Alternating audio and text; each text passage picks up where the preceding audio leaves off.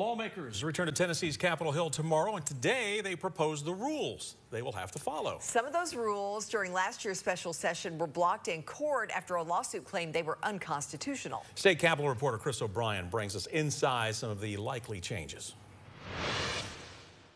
In a packed House committee room filled with Covenant parents and other stakeholders, lawmakers set draft rules for session, which starts Tuesday. The people are looking for, you know, decorum, respect on the House floor, and uh, we really need to get back to that. During last year's special session, the House enacted several new rules, including closing one of the audience galleries, preventing signs, and escalating punishments for lawmakers who spoke out of order.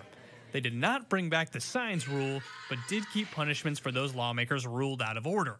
If it happens three times in one day, you will lose the ability to speak on the floor for two legislative days. Democrats tried to push back on that, requesting that if the speaker rules a member out of order, that they at least provide an explanation of why. People were not understanding why they were called out of order, and, and oftentimes members was voting to rule someone out of order, but didn't understand why the person was ruled out of order. The Speaker of the House can rule members out of order for any number of reasons, but the main one that came up last year was often with Democratic Representatives Justin Jones and Justin Pearson.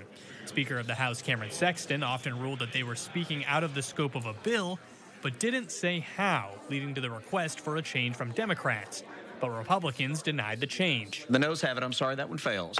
Another interesting proposal from Democrats was one to restrict firearms in committee rooms. It failed by a wide margin, but one Republican did vote for it. You remember uh, just recently there was a video of a guy attacking a judge, you know, and emotions get pretty high in committees, and we've seen that lately. So uh, it's just something to consider uh, for the safety of the, uh, the public. In Nashville, Chris O'Brien.